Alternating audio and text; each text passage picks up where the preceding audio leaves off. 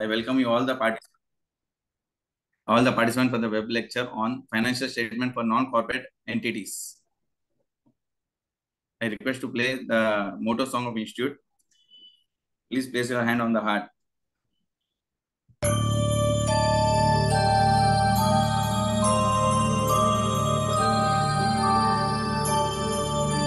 य एषः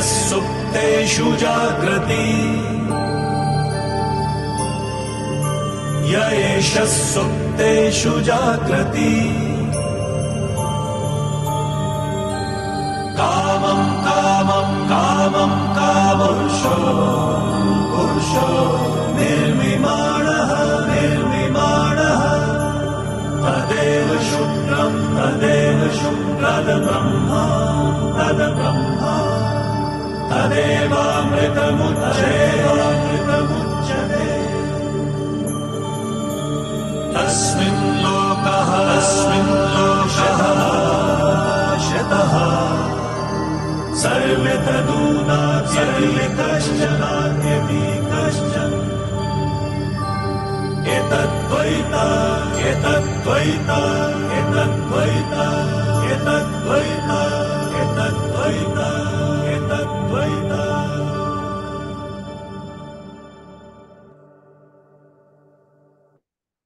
I welcome all once again on the event of web lecture on financial statement for non-corporate entities. And the- regarding the speaker, he is a well-renowned speaker. He CA Nitta Ravi Kishore is a fellow member of Institute of Chartered Accountants of India. He is a practicing practicing for last 25 years. He is also the member of Institute of Cost of Cost and Management Accountant of India. He holds a diploma in Information System Audit and honors in System Management. He is faculty for direct and indirect taxes for last several years and was faculty for auditing for some years. He speaks at seminar organized by branch of ICAI colleges and various state bodies about current and emerging technologies. He is faculty for orientation program of newly qualified cost accountants. He is also YouTuber. His channel Learn with Kishore. Currently, he has more than 5,600 subscribers.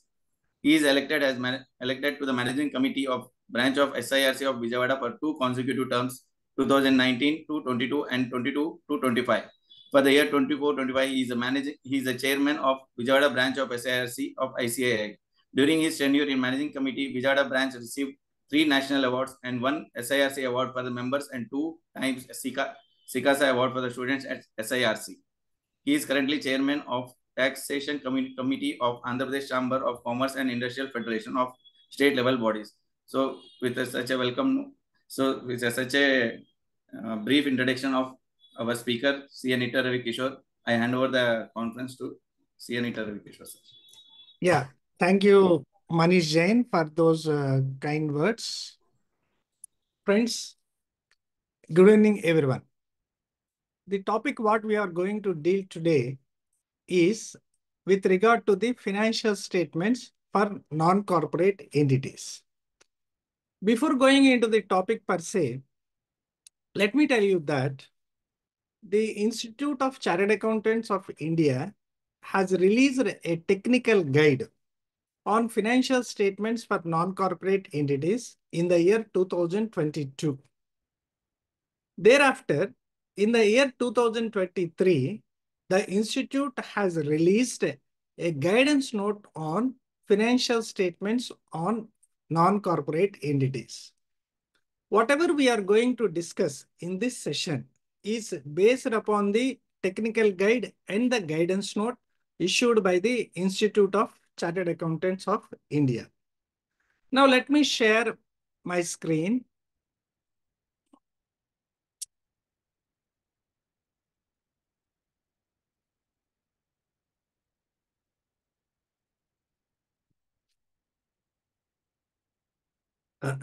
So friends, as already said, our discussion is going to be about the financial statements for non-corporate entities based upon the guidance note issued by the Institute of Chartered Accountants of India. Friends, we will we will divide this session into two parts. First, we will have a conceptual understanding of the topic, which will be a major part. In the second part, we'll be going into the financial statements format per se. So first, uh, let us spend major amount of our time for conceptual understanding of the topic. Now, as said, the institute has issued a guidance note. Now, what will be the authority attached to any document issued by the institute? Our institute has issued a clarification in this regard. Now, why are guidance notes issued first of all? The guidance note will be issued for a purpose to resolve the doubts arising in the minds of the members while carrying out their duties and functions. So basically, a chartered accountant, while discharging his duties or functions, be it a test function or otherwise, he may have certain doubts in his mind with regard to certain issues. So to clarify those doubts or resolve those issues, the institute will come out with certain guidance by way of guidance notes issued on various topics from time to time. Now, what we have to understand is whether the guidance note are mandatory in nature or whether the guidance note are recommendatory in nature.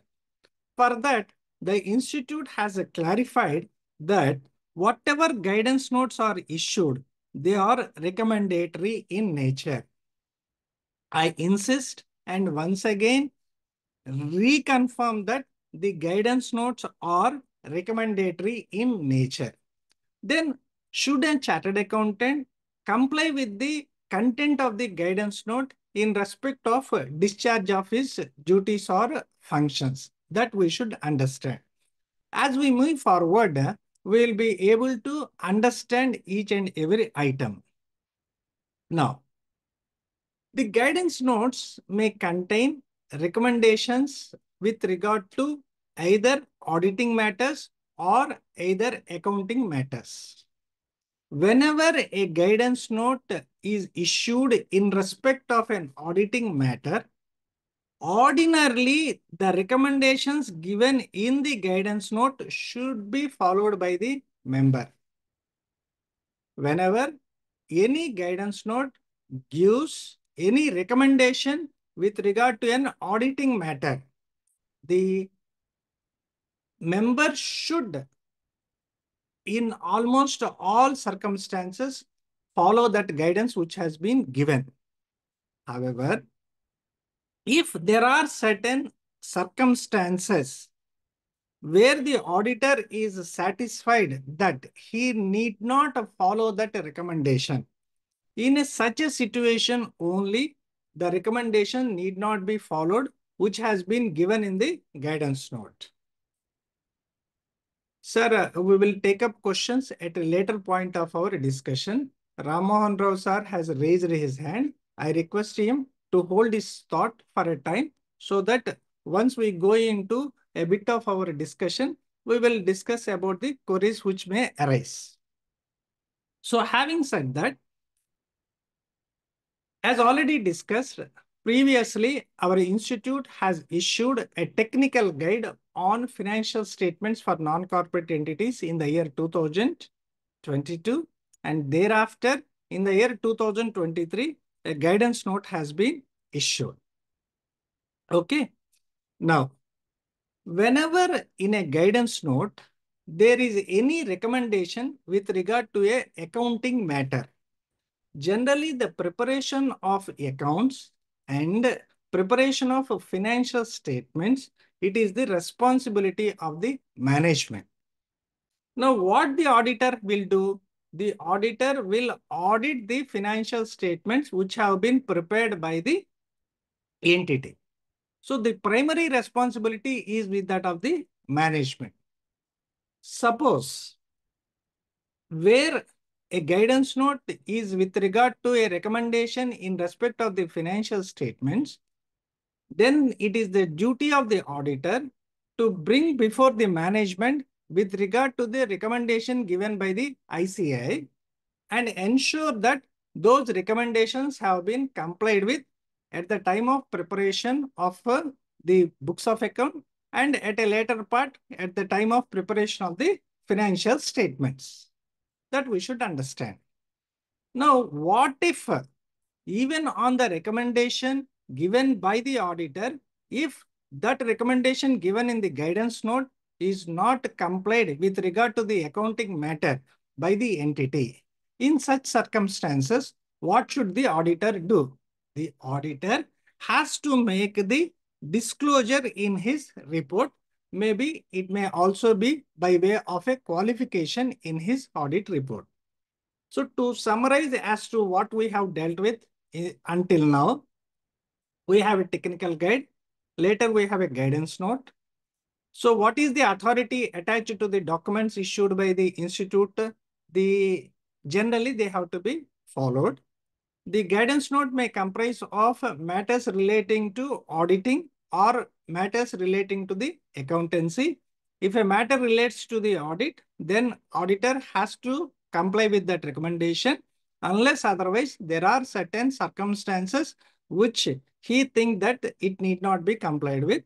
If it happens to be an accounting matter, the auditor may advise the entity to comply with the recommendation given in the guidance note with regarding to the accounting matter.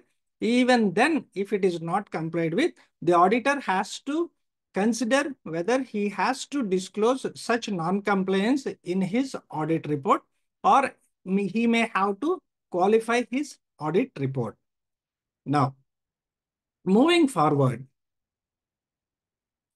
what is the effective date of this guidance note? Previously, there was a technical guide with respect to the financial statements for non-corporate entities. Now that it is a guidance note.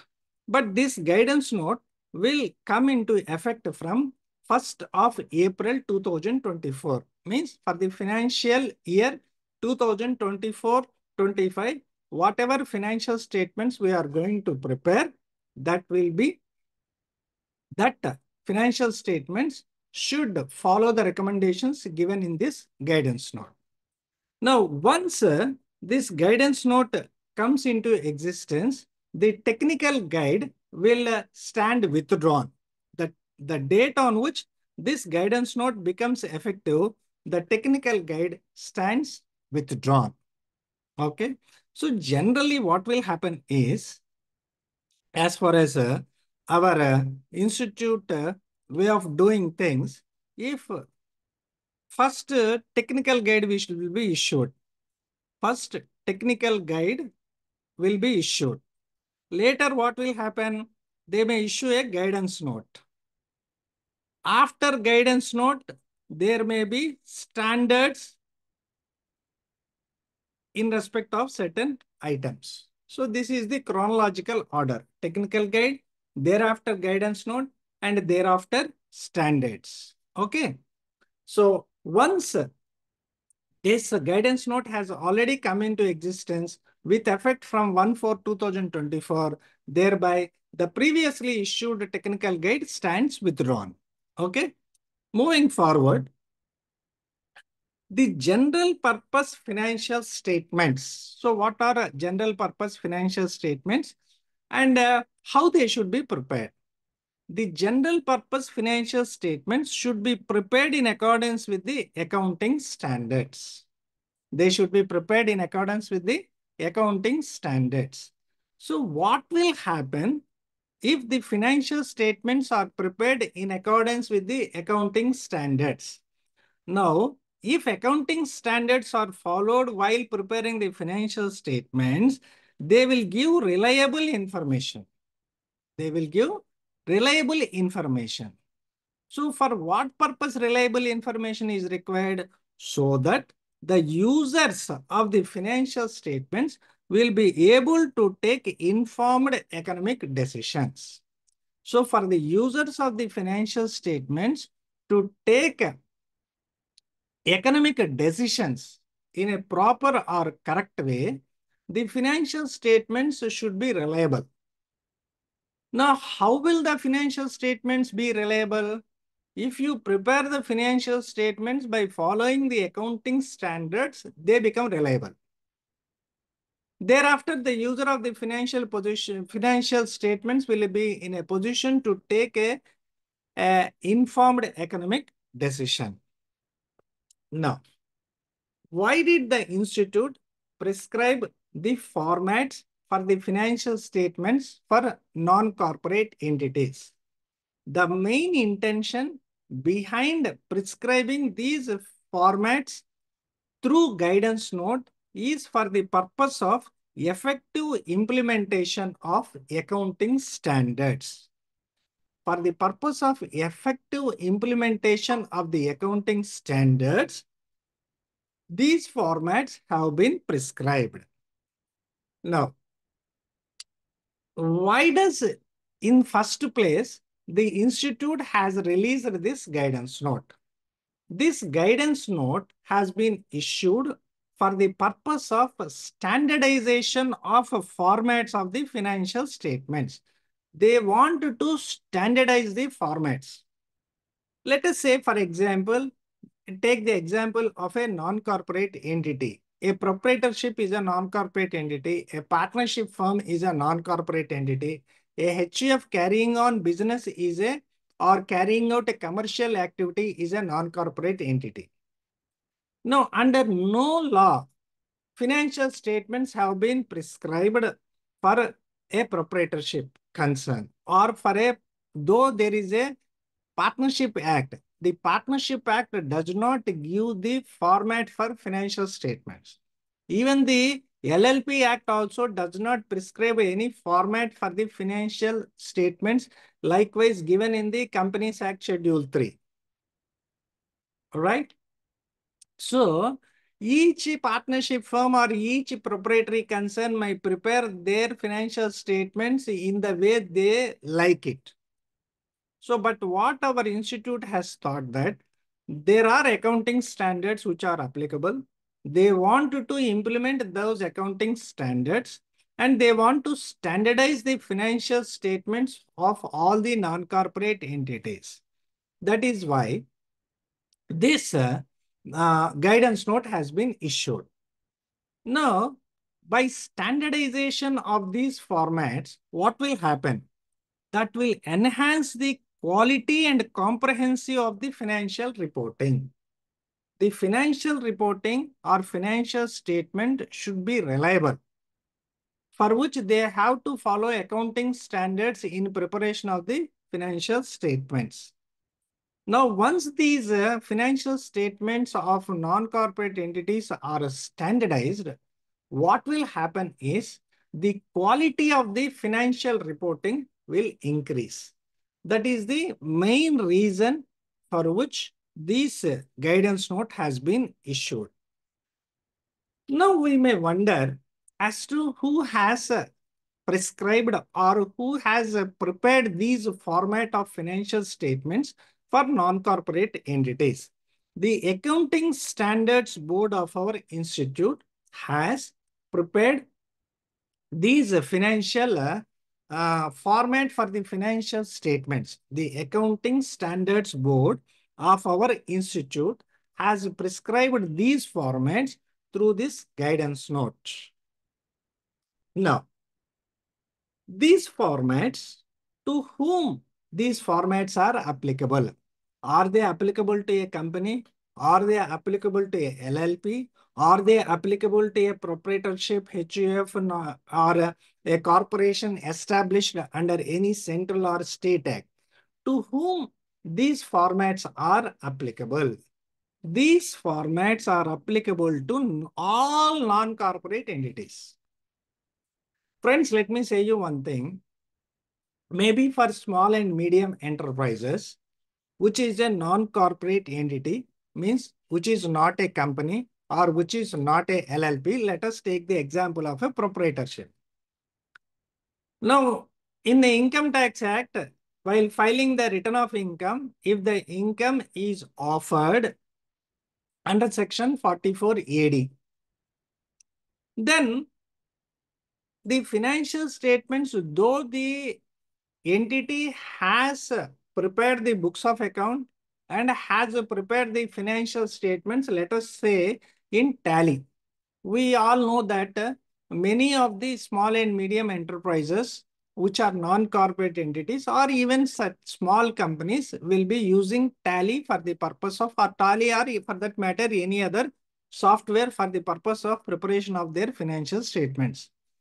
Now let us say that uh, a, a proprietorship, uh, let us say A and Co, whose turnover is around 80 lakhs, is offering its income under section 44 AD of the Income Tax Act. Now, though for the purpose of GST, they have prepared their books of account, for income tax purpose at the time of filing the return of income, we will not be uploading any profit and loss account and balance sheet.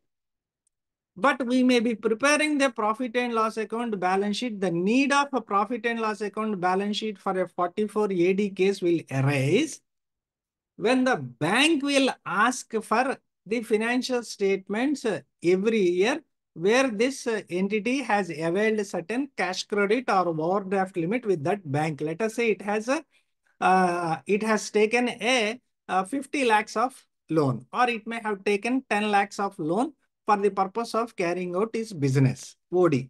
At that time, every year this person might have to furnish the financial statements to the banker. In such a circumstance, how the financial statements are to be prepared, whether they have to be prepared in accordance with the formats that have been prescribed in this guidance note or simply by taking a profit and loss account, balance sheet, debtors, creditors, unsecured loans, bank accounts, advances, and the trail balance from the tally. Just extract, extract from the tally, take a printout of it and sign and submit to the banker. Is it sufficient or not? Is the question what we will be going to discuss at a later point of our discussion. Let us take another situation wherein there is a partnership firm whose turnover is 4 crores. It has to get his books of account audited because 5%, 5% cash transactions, uh, it has not met that uh, provision uh, which has been given in the proviso to section 44 AB1. That provision has not been satisfied by the partnership firm. Thereby, it has to get his books of get its books of account audited under section 44 AB of the Income Tax Act. Now, the books of accounts are maintained in tally. They have prepared the financial statements, right? That too from tally itself. Now, you are conducting your tax audit.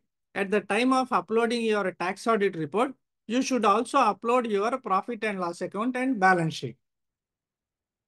Now, simply by extracting the P&L balance sheet from the tally, attaching it to your tax audit report while uploading on the CPC web portal, is it sufficient or is it in accordance with the guidance note issued by the Institute of Chartered Accountants of India with regard to financial statements of non-corporate entities that we need to understand. So what it is saying is this format, whatever financial statements you are going to prepare, be it a financial statement of a proprietary concern which has offered its income under section 44 AD, or a partnership firm being a non-corporate entity whose turnover is around 4 crores, which is required to furnish the tax audit report and along with the tax audit report, the financial statements are to be uploaded. Those financial statements should also be in the format that has been prescribed in the guidance note. Now, whether you are required to comply with the uh, accounting matter recommendation given in the guidance note already we have dealt with. If it is an accounting matter, it is a responsibility of the management. If it you have if it is not complied, you have to suggest them. And if even still if they do not comply, a, a duty is cast upon the auditor to uh, disclose that matter in the finan in his audit report, or he may have to qualify his audit report wherever appropriate. So, in a nutshell, the scope of this guidance note for format for financial statements of non-corporate entities apply to all non-corporate entities. At a later point of our discussion, what we will do is we will understand as to who are all non-corporate entities. But in certain cases, in respect of certain non-corporate entities, you need not follow this format. Why?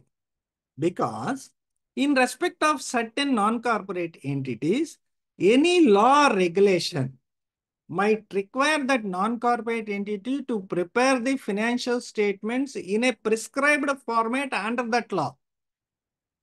In those circumstances, it is not necessary for you to comply with this guidance note or the format given in this guidance note.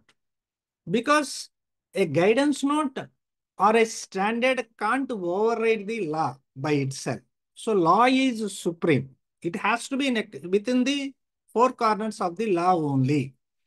So for a non-corporate entity, which is governed by any law or regulation, if that law or regulation specifies the format for the financial statement, then you need not follow this financial statement. That is what it has been prescribed. Or any other specific format has been already been issued by our institute. In that circumstance also, the format given in this guidance note will not be applicable. That we should understand. Now, are there any examples where a law prescribes the format for the financial statement of a non-corporate? Or are there any formats which have been already been given by our institute in respect of a non-corporate entity? We will check those examples. Let us take the example of Maharashtra Public Trust Rules. The Maharashtra Public Trust Rules prescribes the format of financial statements of trusts formed under the Maharashtra Trust Act. So in those circumstances, what you have to do is you have to follow that format, but you should not come into the format given in this guidance note. That you should understand. Now, another example where our institute has already prescribed the format for a financial statement of non-corporate entities. Let us take the example of educational institution. We have a publication with regard to a, the financial statements and bookkeeping of educational institutions given by our institute. So in respect of an educational institute, you go to that format, but don't come into this format. And uh, let us take the example of political parties. So for political parties also, our institute has given separate guidance with regard to the recording of transactions and maintenance of books of account and also the format for financial statements have been given in respect of political parties. Now, in those circumstances, if you are auditing the financial statements of a political party, ensure that financial statements are prepared in respect with the prescribed format given in that technical guide or guidance note as the case may be.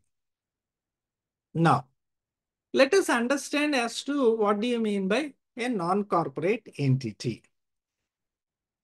There is a wide spectrum of non-corporate entities. In a simple way, what we can do is anything which is not registered under the Companies Act, you can take it as a non-corporate entity.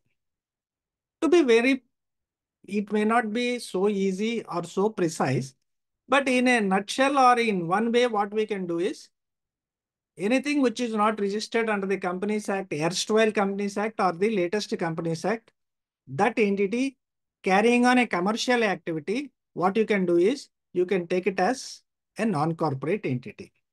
Now, what are all the examples? You may go with the one by one. You already know there is a sole proprietary, HUF, partnership. This we have already discussed previously. Now, a partnership firm can be a registered partnership or a unregistered partnership. Next comes AOPs. AOPs may be of different types. For example, anyone which can't be regarded as a means it is a partnership firm per se, but it is not accessory as such or those partnership firms which are not covered in our earlier slide. Those partnership firms will be non-corporate entities. You have the example of a body of individuals. You also have the examples of a resident welfare association. Suppose, suppose there is an apartment consisting of 50 flats. All the flat owners will form a resident welfare association. It is a non-corporate entity. Then comes societies registered under the Societies Act.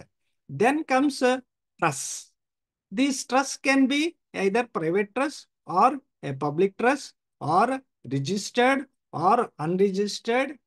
All types of trusts will be considered as a non-corporate entity. Next comes uh, statutory corporations. So Food Corporation of India, uh, for example, Life Insurance Corporation of India, State Bank of India.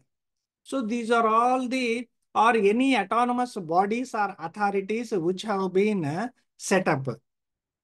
So RERA, or you can take a CRDA. So there may be these are the authorities or bodies which have been set up or any statutory corporation means any corporation which is established under any state or central law.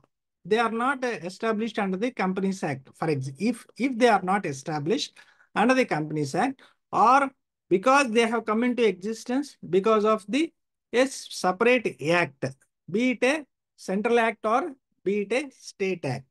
In those circumstances, those type of entities are also called as non-corporate entities.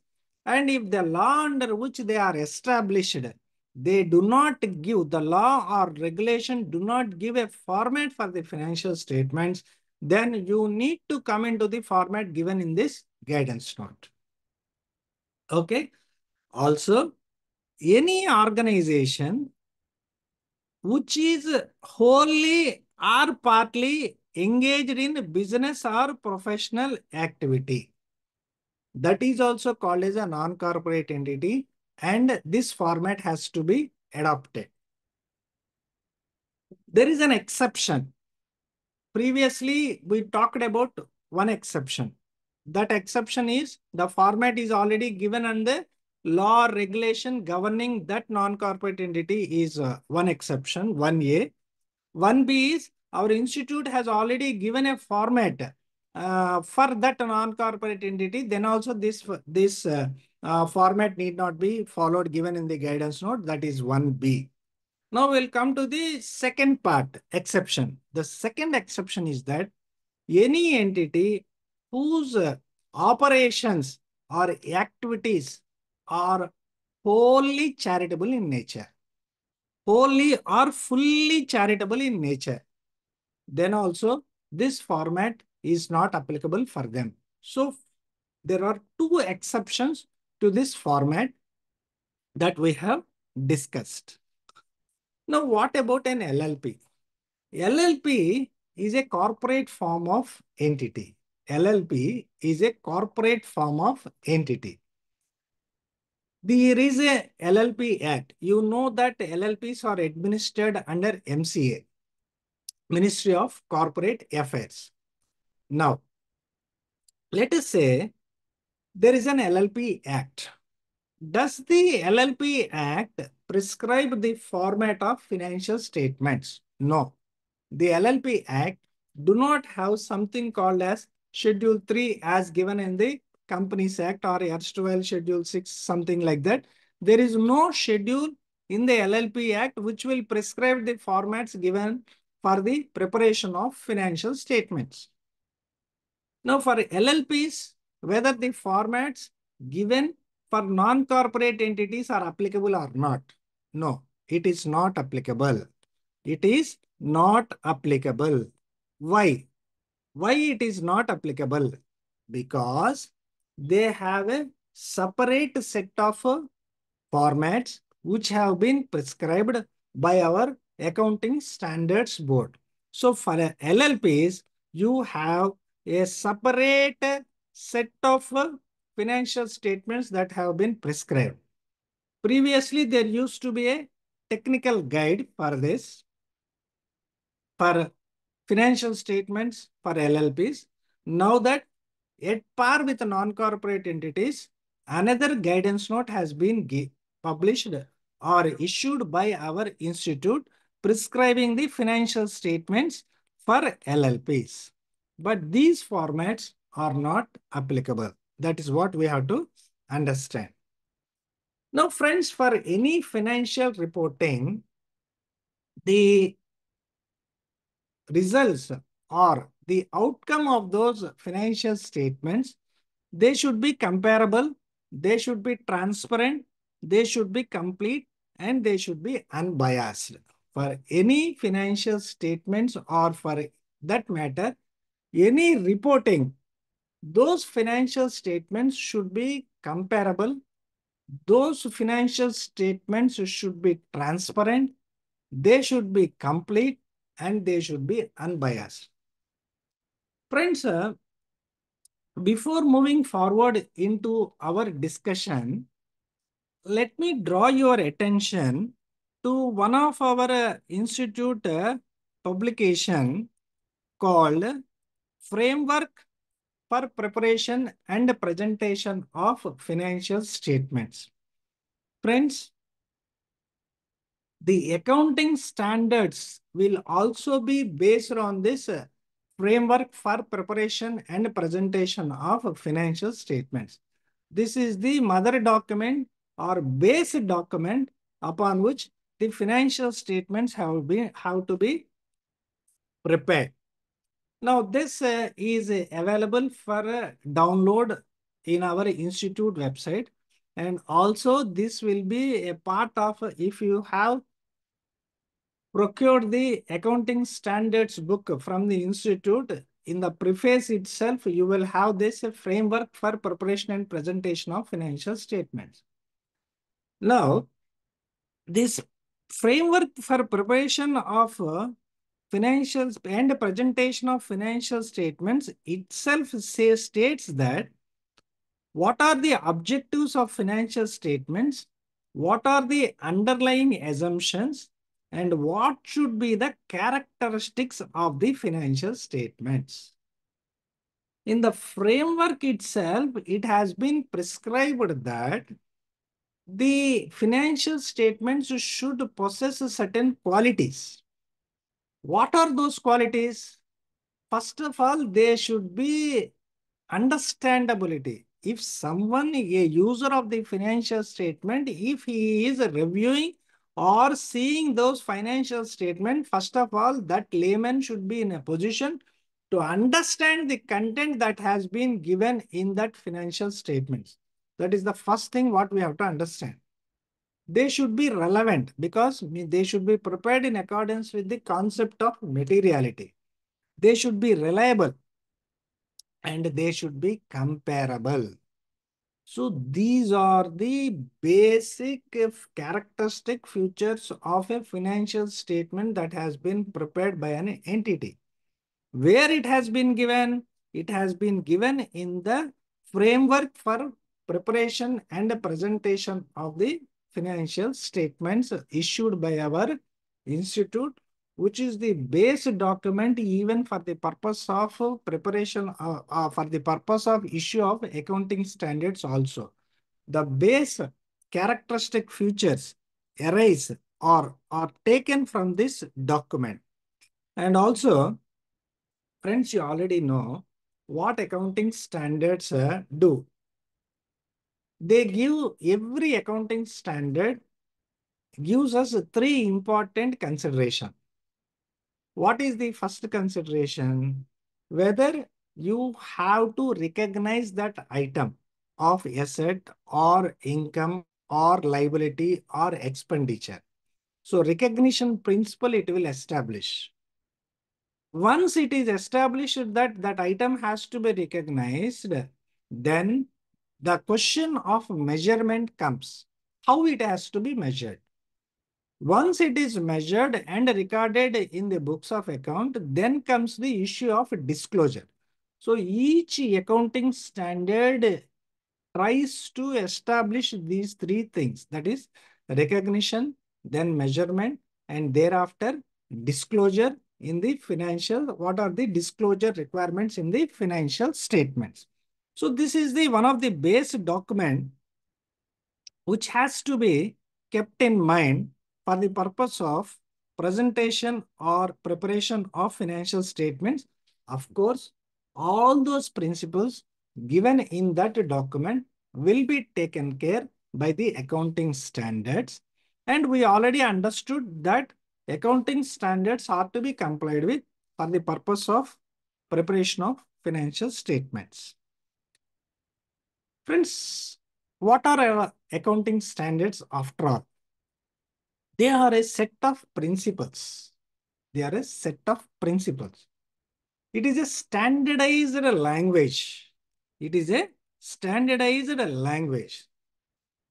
What will these do? They will communicate high quality of information in the financial statements that we should understand. Now, on what principles the accounting standards are based? They are based on transparency. They are based on consistency. They are based on comparability and reliability. So these are the four principles on which the accounting standards are based. Now, the accounting standards are to be complied or followed by the entities, by all entities, be it a corporate entity or be it a non-corporate entity. Of course, it may take some time to come into terms that uh, the accounting standards are also applicable for non-corporate entities. But friends, this is a fact which we have to discount. Each one of us have to discount. So accounting standards are set of principles which are required to be followed by all entities in the preparation of their financial statements that we should understand. Next, what do financial statements disclose? They will give the financial position, means balance sheet, and they will also demonstrate the financial per uh, performance of the entity, but that being a profit and loss account and financial position is given by the balance sheet. So the profit, the financial performance will be a particular for a particular period. And of course, the state of affairs uh, will be as on a particular date as represented by the balance sheet. Now, friends, we understand that uh, the financial statements prepared in accordance with the accounting standards give a reliable information. Thereby, the users of the financial statements will be in a position to take informed economic decisions. That is what this statement which we have come across at the beginning of our discussion. Now, who are the users of the financial information? Of course, we all very well know when it comes to non-corporate entities, what we deal in our day-to-day -day practice, the users of the financial statements, of course, income tax department is one department who is the user of the financial statements. Of course, the entity might have taken loan, be it a cash credit or a term loan or a overdraft limit from a banker be it a private bank or a public sector bank, they will be requiring the entity to produce the financial statements periodically. Of course, we know these two type of uh, uh, users of the financial statements. Now let us understand, are there any other users of financial statements? Of course, for corporate entities, you have the shareholders, regulators like MCA, SEBI, etc. And you also have the potential investors if the entity is going for further issue of capital or it is coming to the market for the first time or for the first time, of course, there will not be any financial statements. That's for sure. If it is going for further issue of capital, uh, then the uh, potential investors might be interested in the financial statements of that entity. Then comes lenders, creditors, and other stakeholders. So these are all the users of the financial statements of a, a corporate entity. Now let us come to the case of a non-corporate entities. Who might be the persons who are interested in the financial statements of that non-corporate entities? Of course, you have potential investor. There is somebody who want to, of course, a non-corporate entity is not only a proprietary concern, HUF or a partnership firm. We previously understood that the non-corporate entities are having a wide spectrum. They not only include the proprietorships, partnerships, HUFs, but also they include AOP. They include trust. Apart from that, we also understood that corporations established or any authorities or any other board or entity which has been set up by any government, be it a state government or a central government. Now, let us say there is a corporation in which somebody want to make an investment. Now, that potential investor is interested in the financial information of that entity. Then come employees, lenders, suppliers, creditors, customers. So these are the users of the financial statements. If it happens to be, if an entity happens to be a corporate entity, then the financial statements format is already prescribed for that corporate entities in the Companies Act itself by way of a Schedule 3 to the Companies Act, There you have the format itself. Of course, we also have the uh, institute publications with regard to the giving guidance in respect of Schedule 3 also. Now, what about non-corporate entities? Because these non-corporate entities are not generally governed. Most of them might not be governed by an act. For example, most of them in the sense, most of them might be governed, but those rules or regulations might not have given the format for the financial statements, right? Let us say if you take the example of proprietorship, there is no uh, uh, separate law dealing with proprietorship firms. Partnership, you have an act, LLP, you have an act, but you have a separate uh, set of format for financial statements. Then you have this HUF, no law governing except the Hindu Succession Act. Then if you come uh, to trust, yes, of course, societies, yes, of course, there is a law. But uh, these laws might not have provided the format for the financial statements. Okay. So friends, I thought uh, I have covered a good extent uh, by this time. If uh, uh, anyone uh, uh, wants to pose any query or want to express their idea with regard to as to what I have uh, delivered until now, you are most welcome. Uh, sir, Ramon sir, you have raised your hand right from the beginning. Uh, Ramesh, if you can allow Ramon sir to unmute himself and speak. Ramon sir, you want to say something?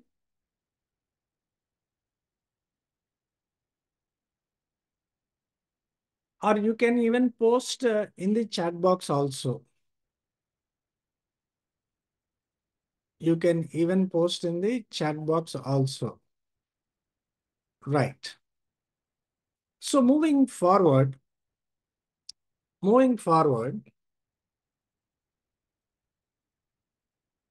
previously we understood that financial statements are to be prepared in accordance with accounting standards if they are prepared in, in accordance with the accounting standards, they, they, they get the reliability.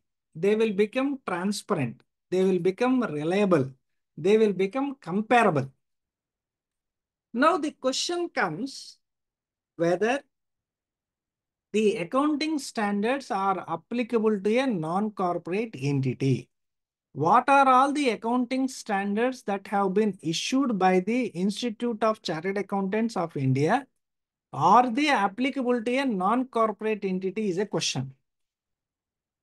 Friends, I understand some of you might be thinking as to when we will be going into the format. As or for the benefit of those who have joined late, I would uh, suggest that we will be dividing our conversation into we will be dividing our concept conversation into two parts.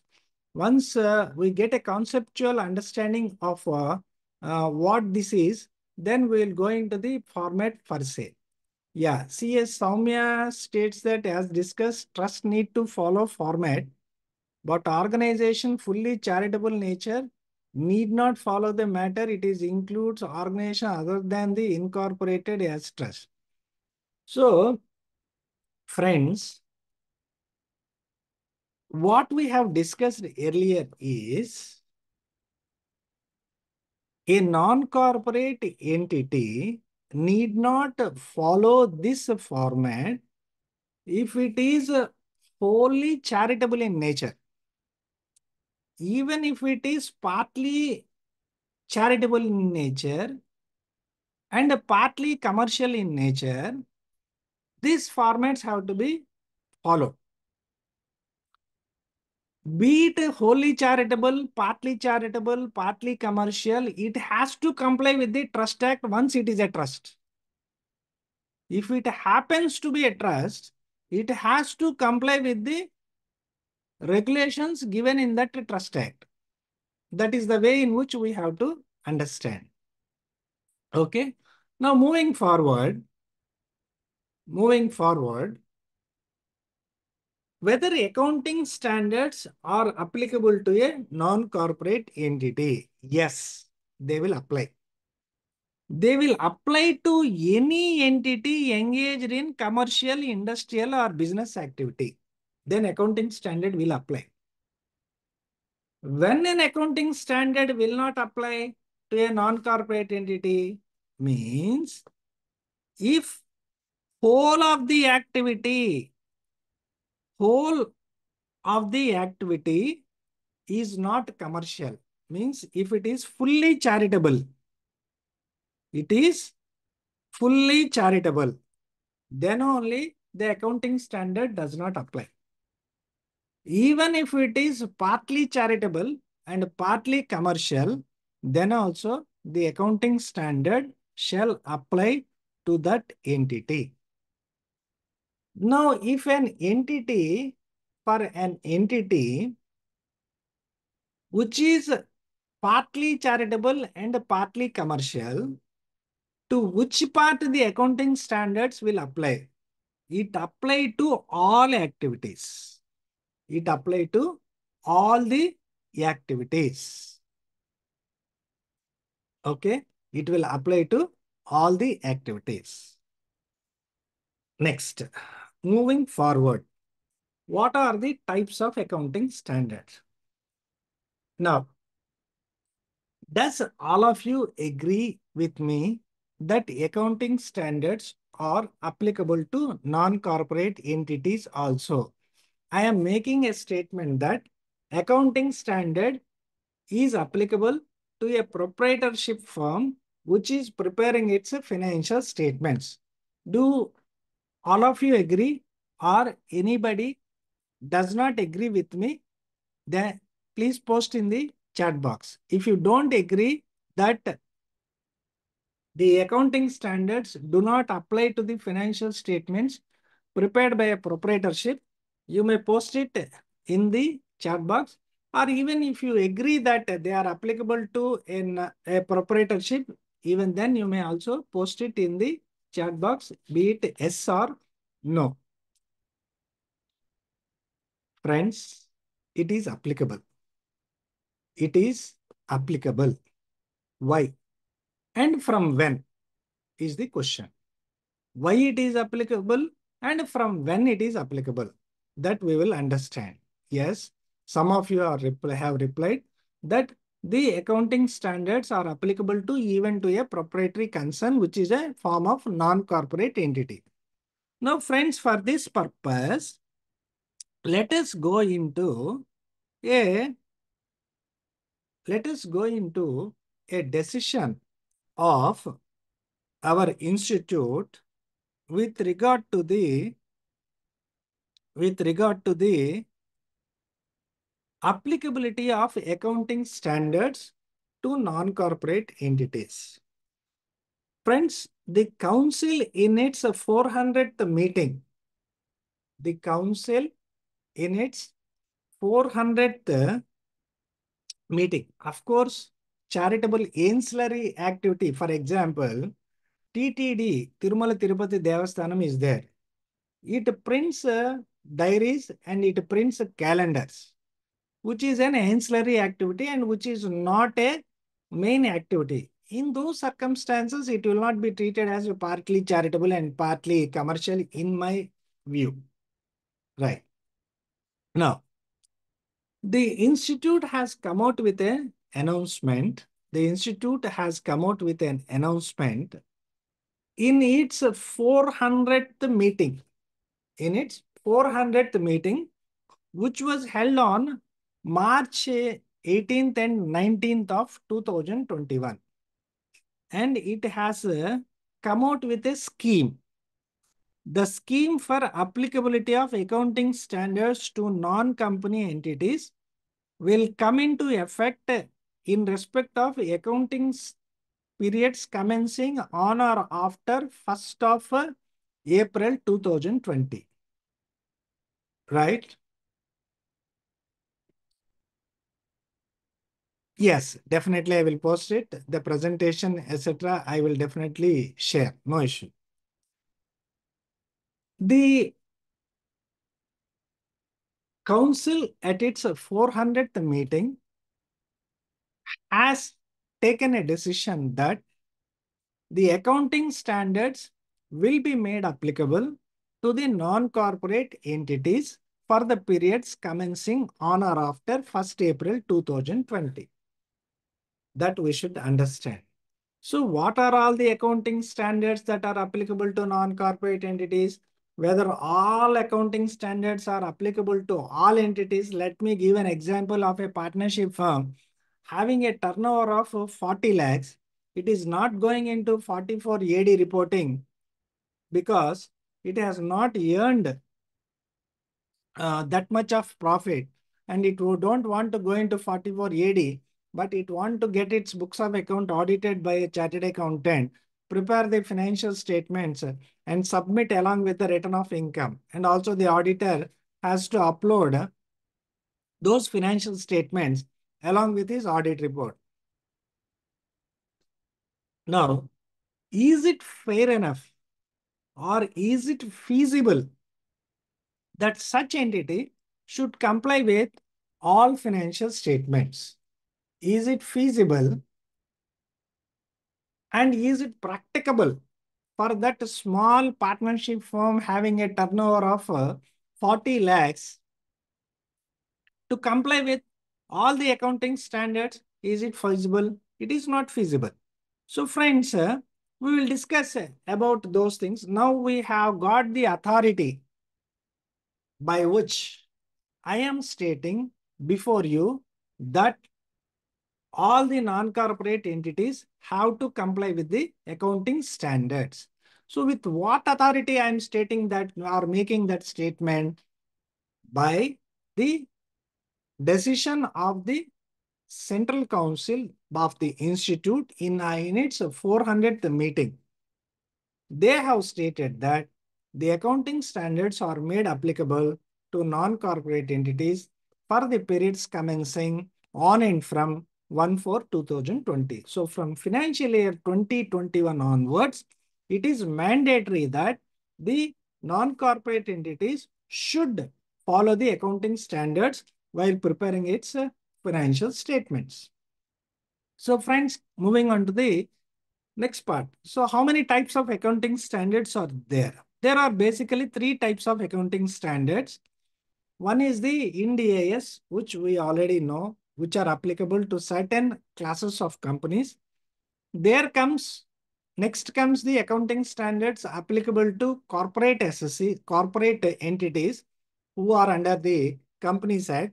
They have to follow the accounting standards as prescribed uh, by the MCA. Of course, those accounting standards will also be formulated by our institute itself.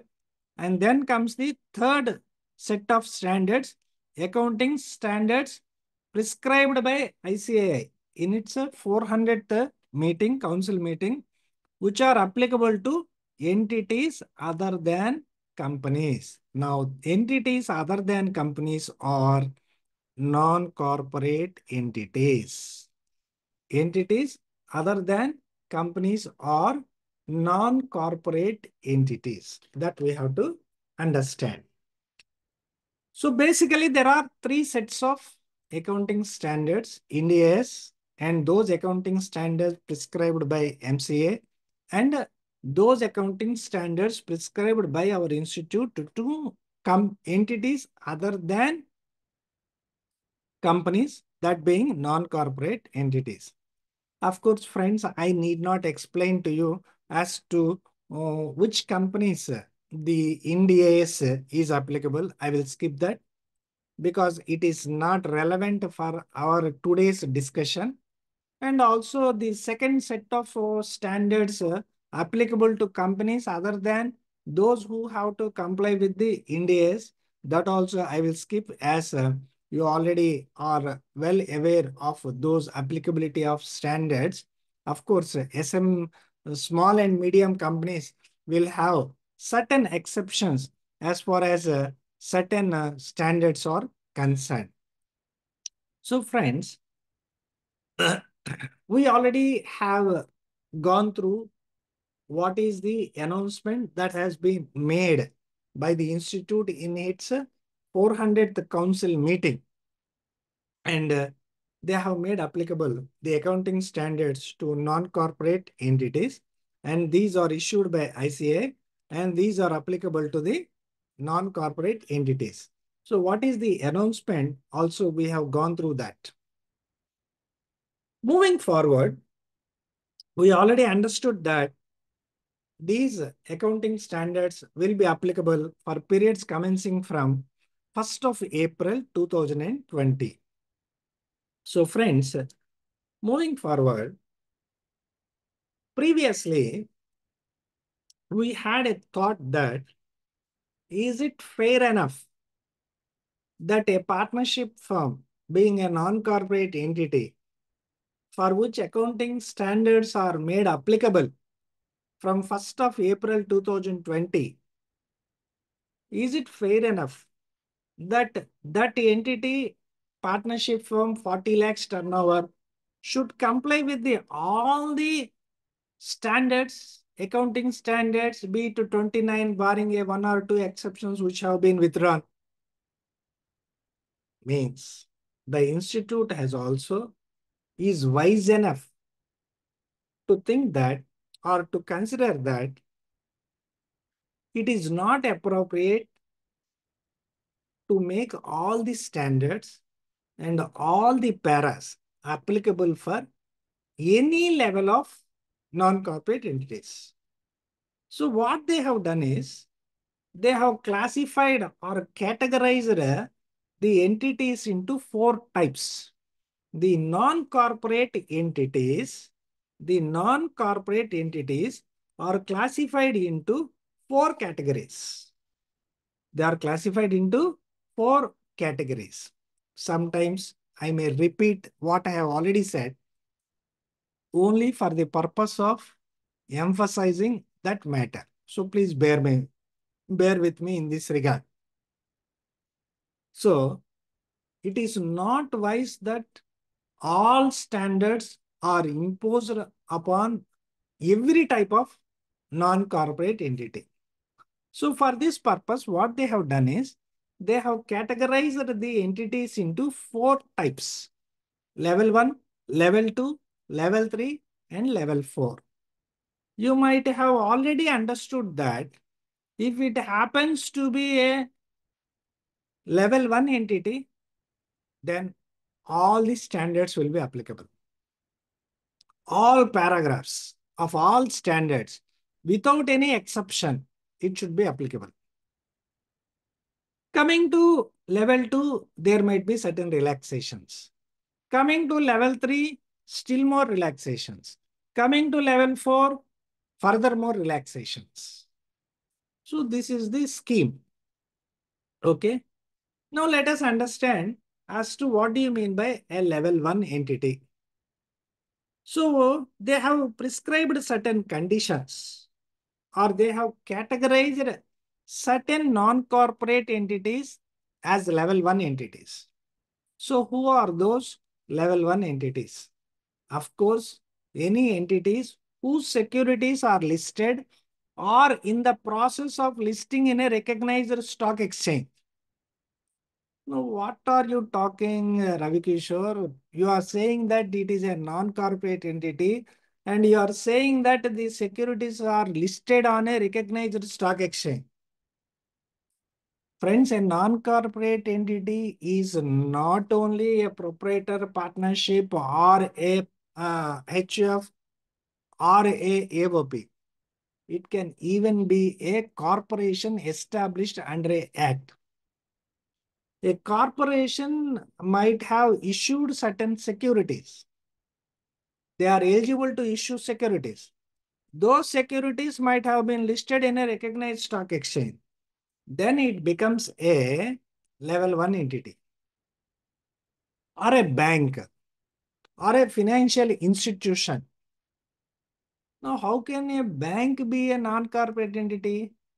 We already understood that if it is not established under the Companies Act, if you take the example of a State Bank of India, it is not a bank which is established under the Companies Act.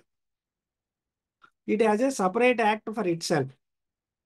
Or if you take any nationalized bank previously, some have been established under separate acts.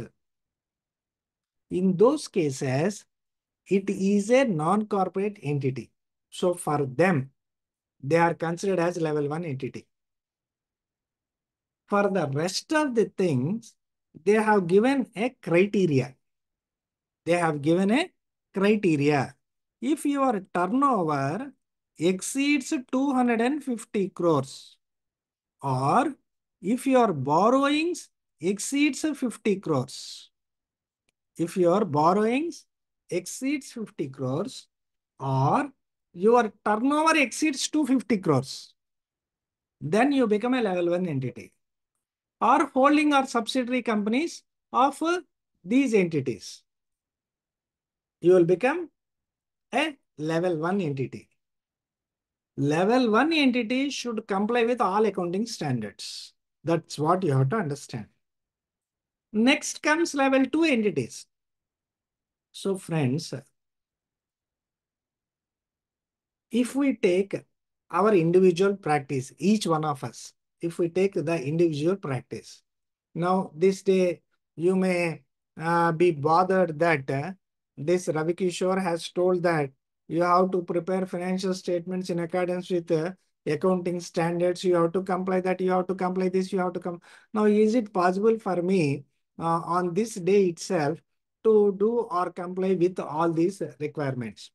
So friends, we can go step by step. Let us understand level one entity turnover exceeds 250 crores or borrowings exceed 50 crores. Now, we by ourselves, most of us, if not all, most of us may be having one or two or a very few people or few clients whose turnover exceeds 250 crores. Maybe some of us might not be having a client with a turnover of 250 crores. So we can forget about uh, all those uh, uh, members can forget about level one entities. Okay. Or if you have any entity whose turnover is more than 250 crores or whose borrowings is more than uh, 50 crores, then you should keep in mind that for that entity, all the standards are applicable. There is no other way go. Now come to level two entity. most of us might be having at least one or two or a few of level 2 entities. You please understand. Now, what are these level 2 entities? Turnover is uh, more than 50 crores, but less than 250 crores. More than 50 crores, less than 250 crores. Or borrowings more than 10 crores, but less than 50 crores. So most of us small and medium practitioners, I understand, or I am of the view that uh, almost who have joined this uh, seminar might be, if not all, at least most of us might be the small and medium enterprises doing the practice. Now for us, we may be having some number of clients whose turnover is more than 50 but less than 250 of course borrowing of 10 crores uh, i am a little bit skeptical uh, of course our clients will be having a borrowing but uh, more than 10 crores of borrowing uh, if, if few we might be having.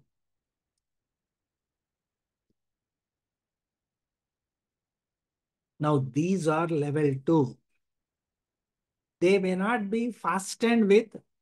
Those many number of standards and paragraphs in those standards, but some relaxations will be there for these type of entities.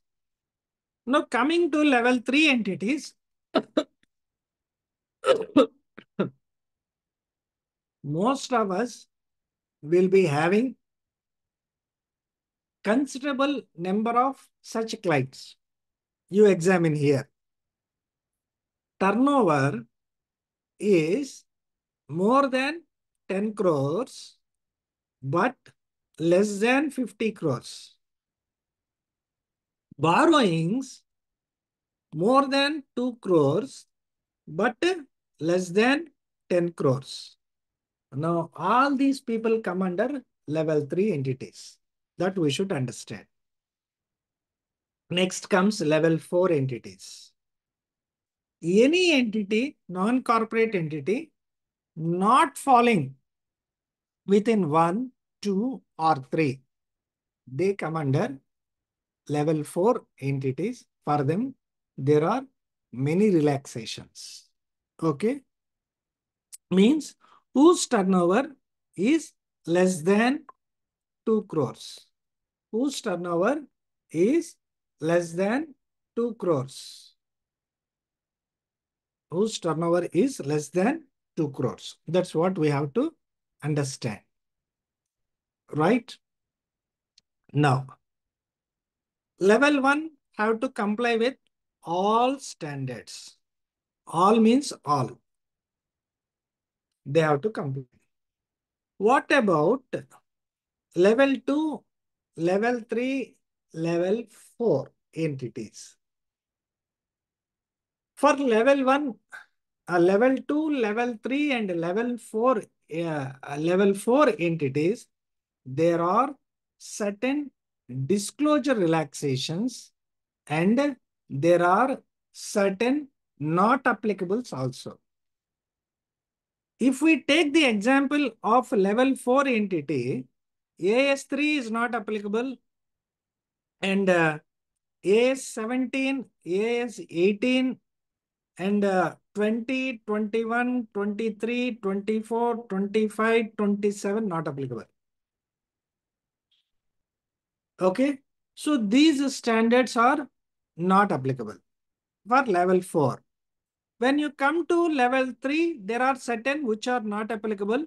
Of course, there are certain in certain wherein there are certain disclosure requirement relaxations or exemptions that we need to understand.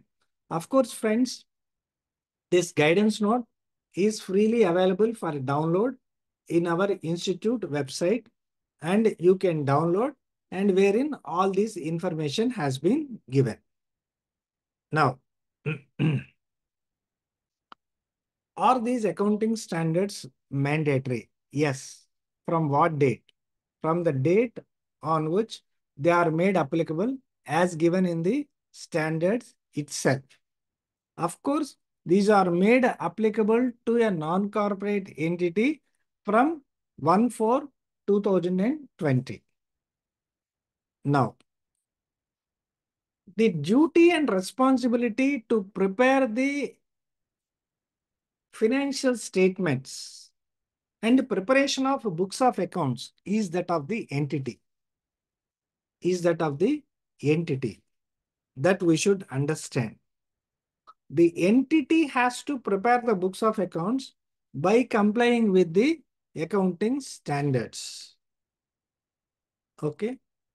Now, what the auditor will do? Auditor audits those financial statements. That is understood by everyone.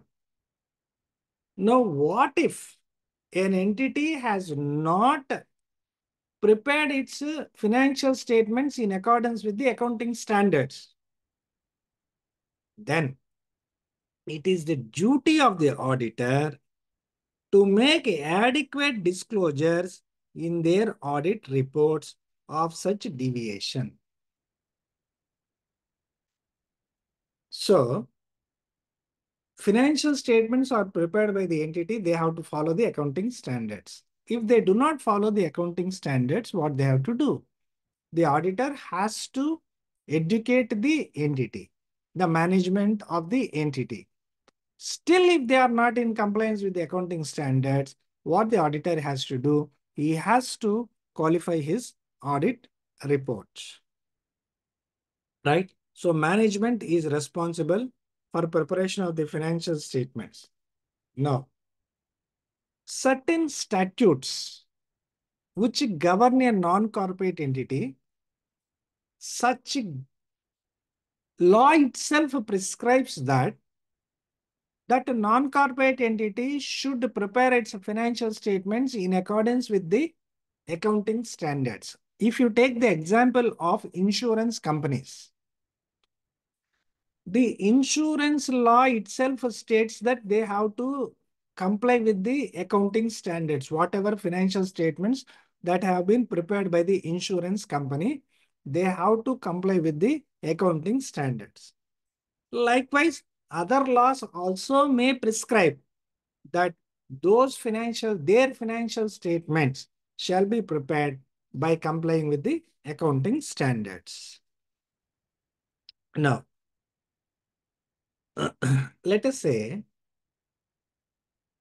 I am an entity carrying on commercial activity, wholly commercial activity. My turnover is 5 crores. Now, I may fall under a uh, level 3 entity. For me, level 3 entity, some are applicable. Let us say AS4, AS5, AS7, AS9 are applicable. Mind you, any one condition or both the condition or sir, the turnover criteria, borrowing criteria, as per my best of my knowledge is O or R. Either your turnover exceeds the limit or your borrowing exceeds the threshold limit. R is the condition and end is not the condition to the best of my knowledge. Right. I am I am speaking of a uh, entity whose uh, turnover is 5 crores. Let, let, let me say that I am a level 3 entity. Level 3 entity. And for me, AS4, 5, 7, 9 is applicable. And also others like AS22 is applicable. AS26 is also applicable for me. And my dear friends, I hate AS9. I hate AS9. I don't like AS9 and I don't want to comply with AS9. But uh, I will comply AS1, 2, 4, 5, 7, etc. But only 9 uh, I hate. So I don't want to comply with AS9. Does it mean that I have complied with the accounting standards while preparing my financial statements? Friends, unfortunately, no. You will be deemed to have complied with the accounting standards only when you have complied with all the standards which are applicable to you. So hating a standard, loving one standard, complying two or three standards, skipping one or two standards will not work.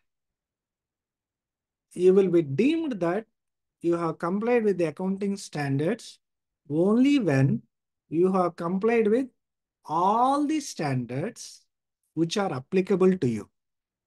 If you happen to be a level 3 entity, what are all the applicable standards for you? You should comply. That's all. There is no other way. Go.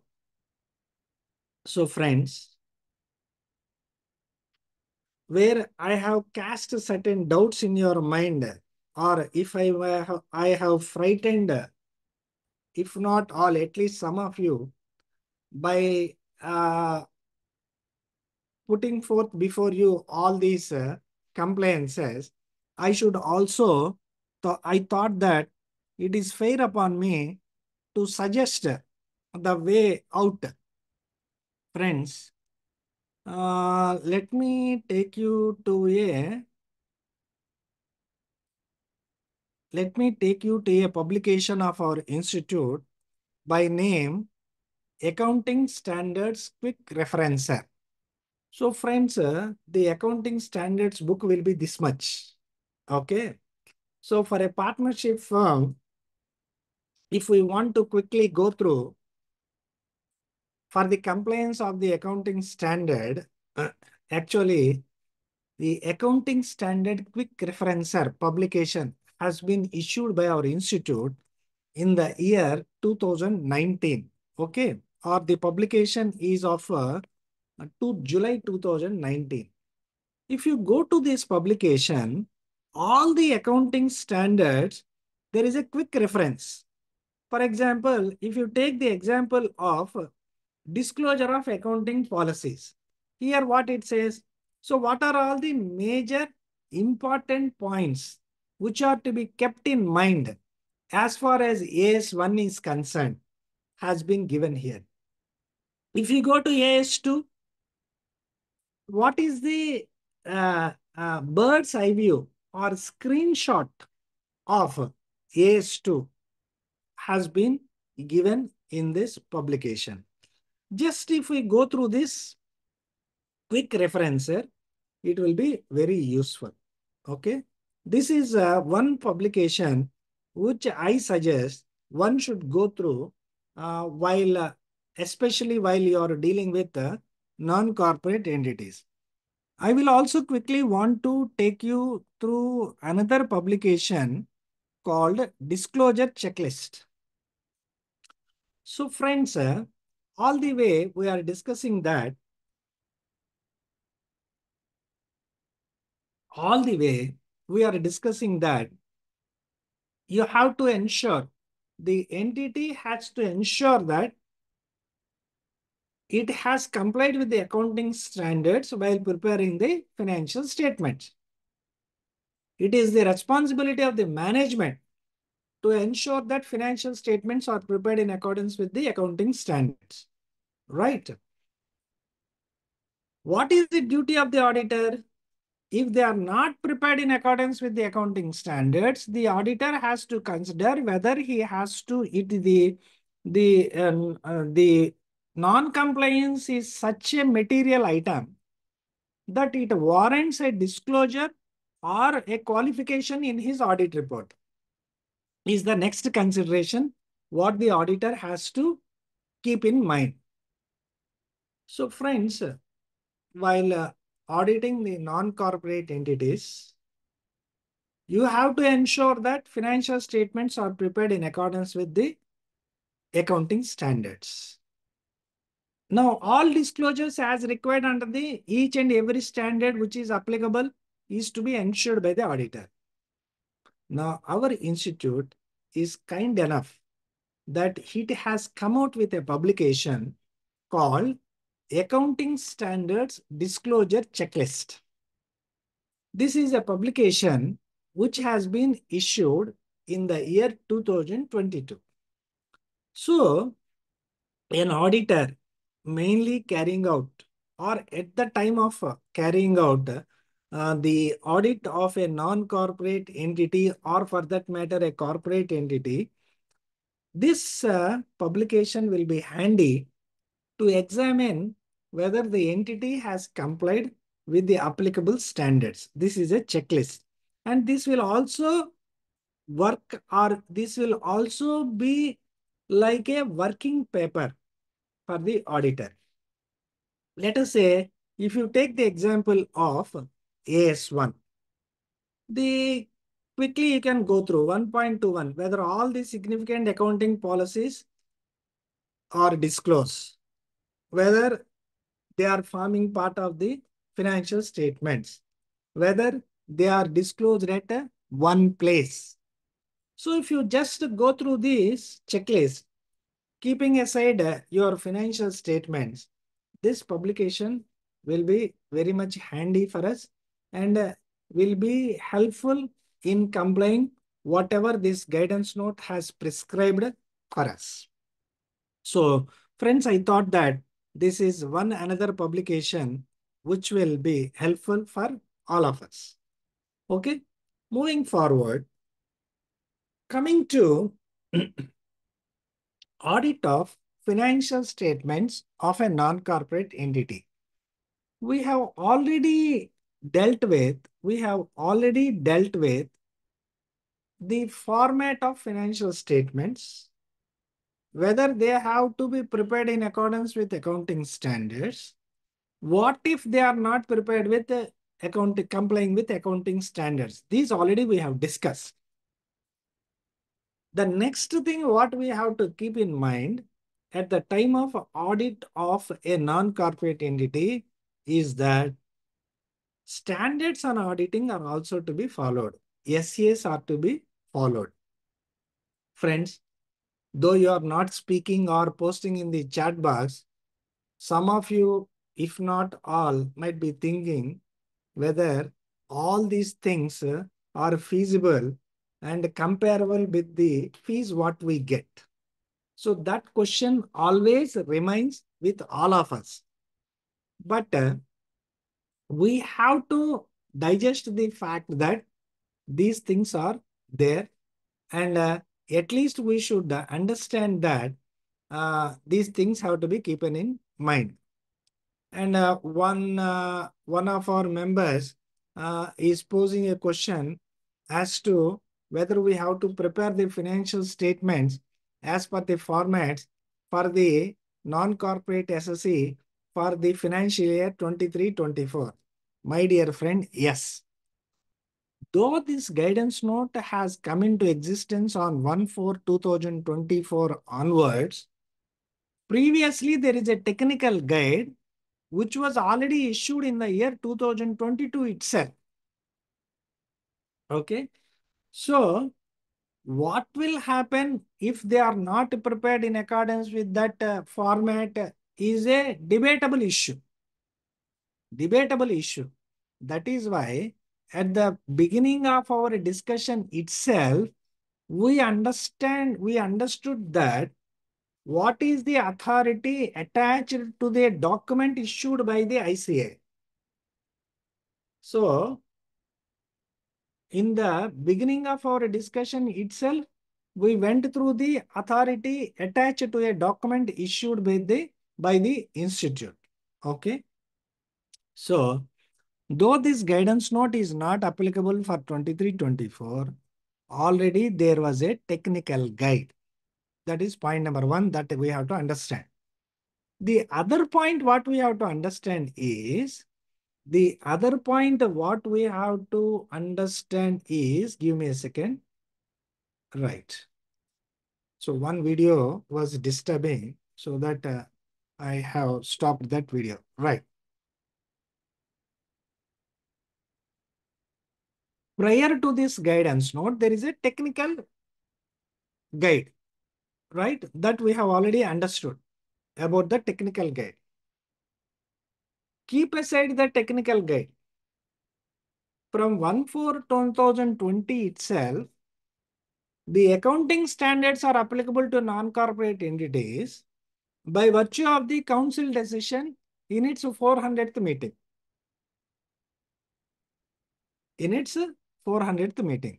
So nonetheless, you follow this format or not is a different issue.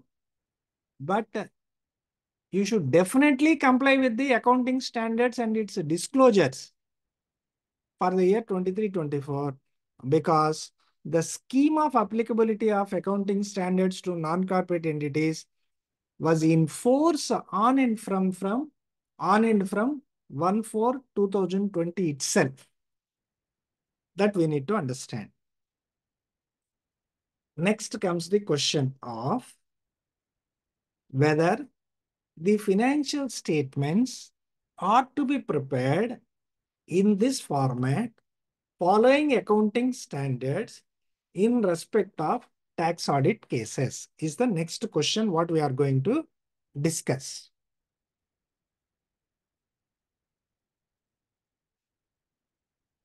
Friends, at the time of uh, uploading your tax audit report in the CPC website, you are required to attach the financial statements, profit and loss account and balance sheet. All of you will agree with me. Right? Now, coming to the format of those financial statements in respect of a tax audit, should we follow or comply with these formats is the next question what we'll be understanding in the coming discussion. Friends, you all know that we have something called as guidance note on tax audit under section 44 AB. In the initial days of uh, uh, introduction of tax audit, senior members should appreciate me, should appreciate the fact there used to be one guidance note. Thereafter, there was uh, an uh, upgrade to the or revised edition. For many years, it was not revised. Again, two years back, the institute has come out with a guidance note, revised and updated guidance note, and has told that thereafter, every year, you get a new guidance note, which is applicable for that relevant assessment year. So for the last two years, we are getting a revised edition. We are getting a revised edition. A tax auditor, whether he likes or not, should take into consideration the guidance note on tax audit issued by ICAI while conducting the tax audit. My dear friends, that guidance note on tax audit is so comprehensive that most of your queries will get answered if you refer to that relevant portion of the guidance note in which you have a query. Okay. So a tax auditor, whether he likes or not, has to carry out the tax audit in accordance with the guidance note issued by the institute with regard to the tax audit. Okay. In that guidance note, in page number 39 of the latest guidance note, means uh, which is uh, assessment year 23-24, that which is applicable to 24-25, I'm afraid is not at uh, released by ICAI. We can we may expect uh, uh, in the near future, but the latest available as per my understanding is relevant to assessment year 23-24. In that publication, if you go to page number 39, in the page number 39 of guidance note, in para number 10, it reads that for certain assessees like companies, societies, etc., where there is a law governing, the financial statements are prescribed. And in case of a certain assessees, Law does not prescribe any specific format or requirement. I will read it out for your benefit. For preparation and presentation of financial statements, in such a case, the Accounting Standards Board of ICAI has issued guidelines for form and related preparation and presentation guidelines. These are contained in the ICAI publication. These are contained in ICAI publication titled Technical Guide on Financial Statements of Non-Corporate Entities. Tax auditor may consider inviting attention of assessees towards guidelines appearing in the said publication. That is what it reads. Para number 10.2. Of course, the uh, publication quoted here is of a technical guide because by that time guidance note was not yet issued. Now that guidance note is already issued, you may read it as a guidance note on financial statements and for financial year 23-24, uh, still technical guide holds good. Okay. Next comes. Uh, of course, we have a question from CA Nitin. Uh, we will take it at a later part of our discussion. He is uh, uh, speaking about the turnover with regard to the futures and options. Uh, my dear friend, you may refer to the guidance note itself where it has been specifically and categorically stated as to how the turnover is to be computed in respect of futures and options or speculative transactions. And if you happen to be a member of the Vijayawada branch, on 23rd of uh, this month, we are having a physical, uh, physical session on tax audit, wherein a session will specifically cover with regard to the F&O transactions and uh, uh, speculative transactions. So, but for now, friends, what we have to understand is in respect of tax audit, the financial statements may have to be prepared in accordance with the technical guide which has been issued or guidance note which has been issued that has been stated in page number 39 of the guidance note, para number 10.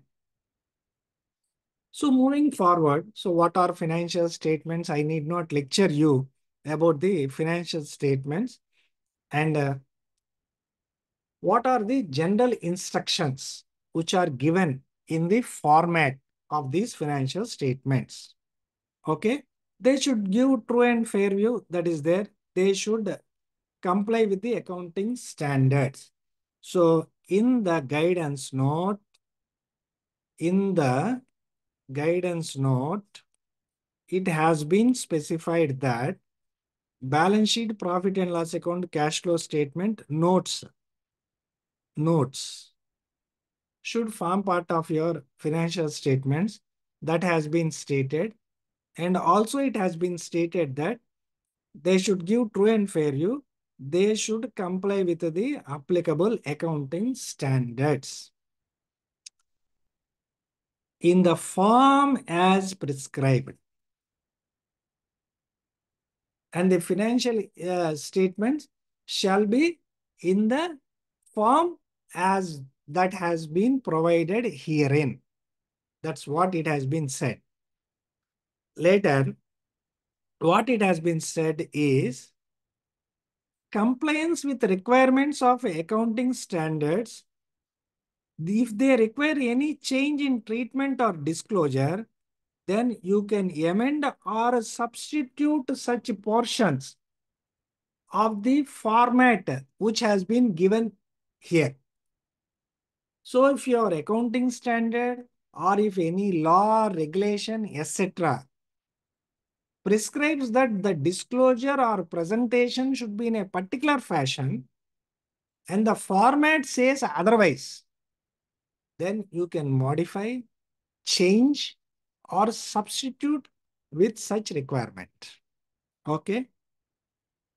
Next comes whatever terminology that has been used in the formats is uh, the terminology keeping in mind the commercial transactions. The terminology keeping in mind the commercial transactions. Okay. Suppose you are doing the uh, audit uh, or you are preparing the entity is preparing the financial statements of a association of persons. Then in, in this format, the term members fund is to be used instead of owners funds. So these formats, what we are going to discuss herein may contain or may use the terminology owner's fund. If you are carrying out the or uh, if you are dealing with the financial statement of a AOP, you can replace it with members funds.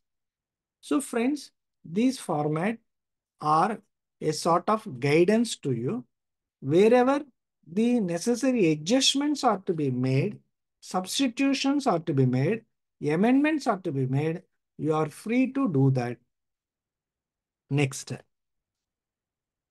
What are all the disclosures which have been given in the formats? What we are going to discuss are the basic requirements.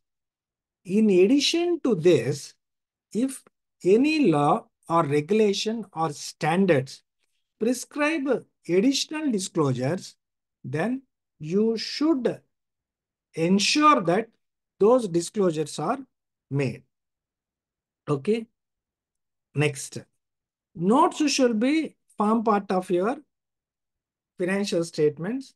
Wherever necessary, disaggregations are to be made and uh, wherever qualification is not required, you may have to go for the necessary information in the notes on accounts. And also, the balance sheet and profit and loss account should have cross reference to the notes on account. Should have cross, my dear friends. In a nutshell, what we can understand is the formats are more or less in line with the, the Schedule 3 itself or the already existing profit and loss account formats which are in our written forms. Some details given in the written forms are, are here and also certain information which are required to be uh, disclosed in the financial statements of a corporate entities are also incorporated here. Okay, that we need to understand. Rounding off is also suggested. Rounding off is also suggested. Of course, for less than 100 crores and uh, 100 crores or more, how it has to be round off is there. Next comes many number of questions. For companies also, where rounding off is made mandatory, uh, in AOC 4, whether you have to give full figures or rounding off is enough, that has already been clarified. You have to give the full figures there, but the attached financial statements may contain the rounding off. So here also, you may get a question that where you are uh, rounding off here, whether while preparing the profit and loss account balance sheet in the written form, whether you have to give full figures or rounding off. One may get a doubt that as per my understanding, in the uh, written forms, we will give the full form. And if possible, in the financial statements, we may have to go for rounding off. Next, comparative figures. Corresponding or comparative figures are also to be given. So friends, if you are preparing tally, in tally also, you can add a column for vertical and uh, for vertical or horizontal for both of them. You can add a column of the previous year. Right? In tally also you will get that. Right. Now, what are all the terms used herein are those which are already used or have the meaning assigned to them in the accounting standards. Now, friends, as already discussed, most of the time we have went into the conceptual thing of the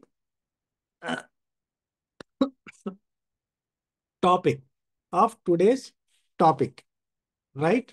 Now we'll go into the format which has been given. So friends, uh, our institute is kind enough, is kind enough that it not only has given the format in the guidance note, but what they have done is they have even given us the format in Excel sheet, has given us the format in the Excel sheet. Now, this Excel sheet blank format has been given. This is available in our institute website. If you go into our institute website, let me demonstrate that. If we go into our institute website, if you go into the resources and go click on free download of online publications, free download of online publication, there you go into the accounting standards board. In that, you have something called as technical guides and other material. If you go into that material, here you have, as I was uh, uh, referring earlier in our discussion, there is a separate format for, uh, there is a separate format for LLPs. And here you have this Excel file for illustrative financial statements of non-corporate entities.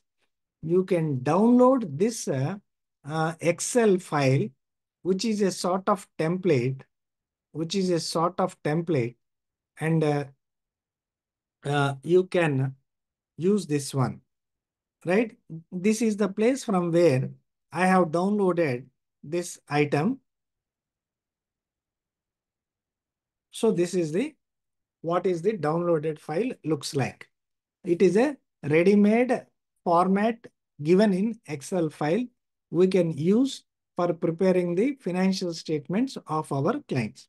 So if we go through these formats, here you can understand in the balance sheet, you have owners funds, then non-current liabilities, current liabilities, you have these uh, uh, current liabilities, thereafter assets, non-current assets, current asset. As already we have seen in the instruction, on the face of the balance sheet, whatever aggregate amount is given, you have can cross-reference it with a, a note. Okay. Then coming to the statement of profit and loss account. What are all the disclosures that have to be made? Next, coming to the notes on account. If you go here, you will have the owner's capital account. There, what is the name of the partner? What is the ratio? Opening balance. Most of us uh, who are dealing in partnership uh, firms are already doing these sort of uh, notes.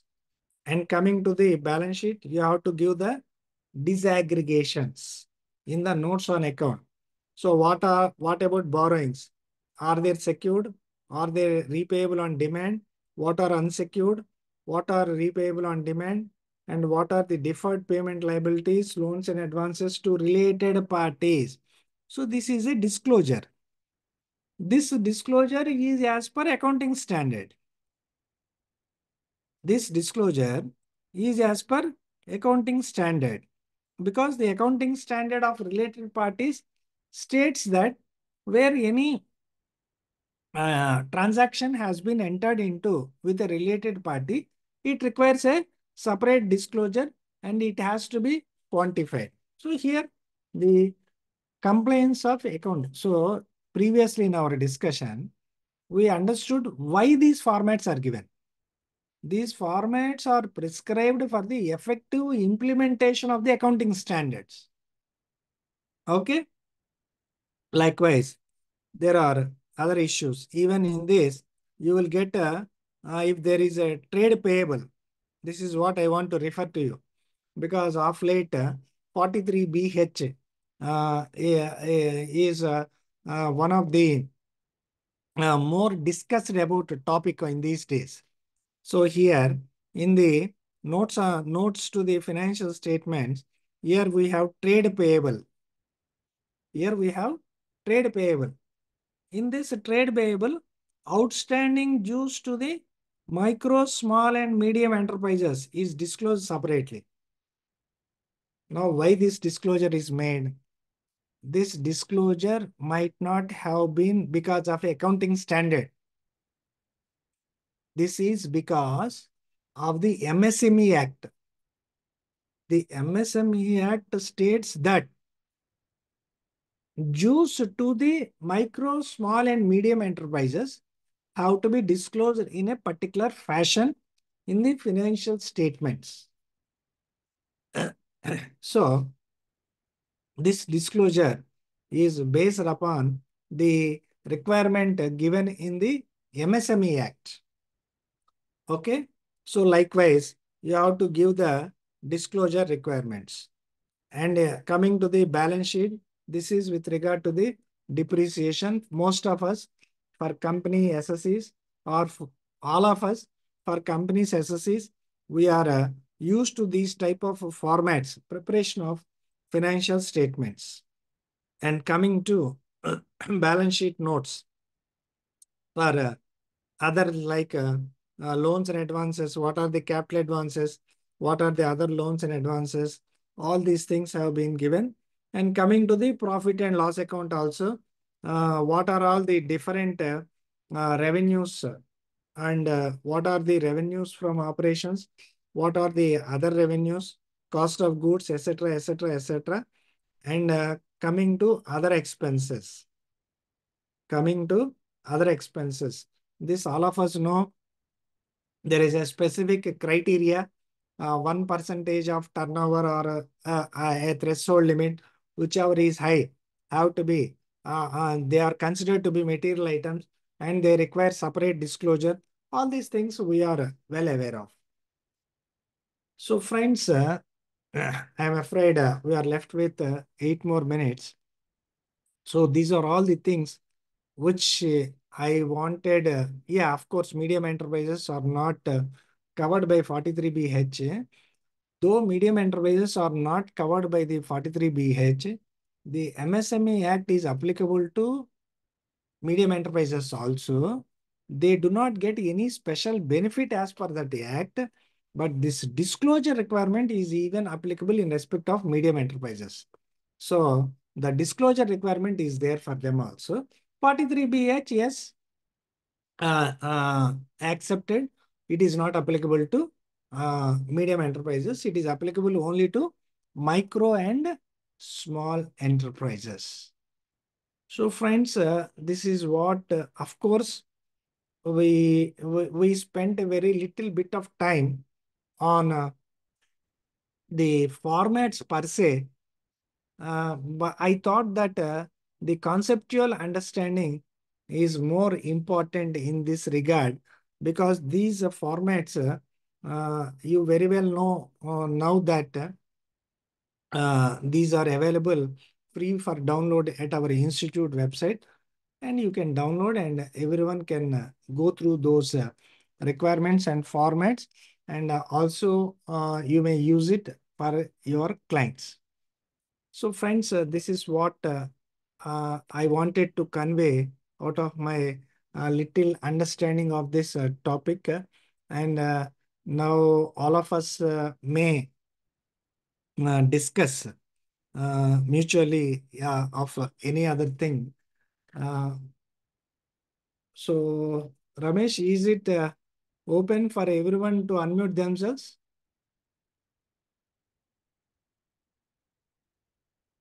So if anyone want to pose a query in this regard, you may please go ahead.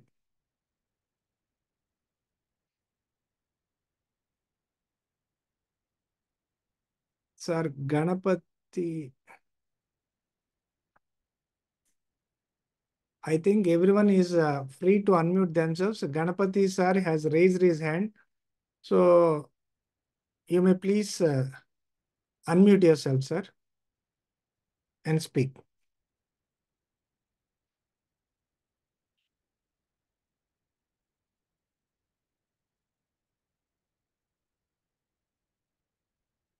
Nitin raised his hand. Ganapati sir raised his hand. I think uh, you should be able to unmute yourself uh, to speak.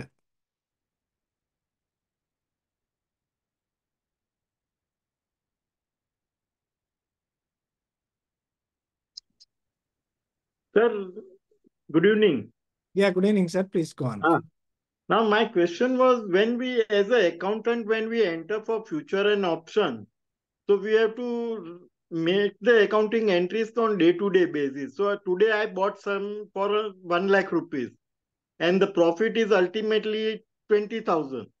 Okay. So as per guidance note, that 20,000 will be counted as turnover. But as far as the books is concerned, then how to record in the books? You don't have to re record 1 lakh transaction purchase or, and 1 lakh 20 sell. Sir, in the books also, sir, I will, uh, I would like to invite your attention to our institute publications. Yes, sir. There is a publication called Accounting for Derivatives. Right.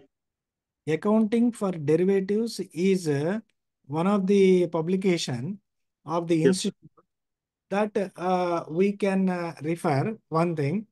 As Hmm. per my understanding, Hmm. in the uh, recording of the books also, it is not necessary for us to record the uh, uh, what you call uh, uh, trade value. Transaction. Trade, trade value need not be recorded. I, I, I in in my understanding, you can even record uh, the profit of profit or loss which you have derived from that. You are speaking of a speculative transaction or uh, futures and options, sir. Both, both the principles are more or less same. Uh, the principles are more or less same, yes, sir. Uh, sir, uh, as per my understanding, what we can do is, while calculating the turnover, what we have to do is the absolute values we have to take. That Yeah, that's correct. But But I- we- now I am on the accounting, actual accounting Yes, and sir. reconciliation of that. yes, sir. sum. Accounting, accounting. I am I am coming, sir. Yes, sir. One way of preparing the profit and loss account is you can take favorable balances. Favorable balances from options, Yeah. favorable balances from futures, Yes, sir. favorable balances from speculative transactions. Right. You can take the unfavorable balances from options, futures, and speculation. Right. You can go with the uh, to turnover charges, to brokerage. Uh, we understand that this Other expense. business income, you can even claim the security transaction tax also. If it happens to be a capital gain, you can't claim the security transaction tax. But here you can claim the STT also. Now Yes. here comes the net profit. Right. Here comes the net profit. Yeah. This is how you can prepare the profit and loss account, even if it is subjected to audit. Of course, for if you are carrying out only uh, a, a, person is carrying out only futures and options speculative transactions, then what he can do is uh, now you have this uh, extended limit of 10 crores for uh, tax audit. Right. 44 AB because uh, you will get into uh, first proviso to 44 AB1 Yes, sir. that will be applicable to you 5% 5% Right. Sir. right now this can be your profit and loss let us say your turnover calculated on absolute values how Right. turnover sir determining the turnover for the purpose of applicability of tax audit Right. Is different with the profit or loss erased and profit and loss account and balance sheet being prepared by us. Right. The way in which you have to, the manner and procedure in which you have to determine the turnover for these transactions is already given in the guidance note also. And in the guidance note itself, as per my understanding, if I remember correctly, they also stated that determining the turnover is different and the preparation of profit and loss account balance sheet is different as far as these transactions are concerned. That's correct. Okay. So Yes. while preparing the books, you can even go with the net balances.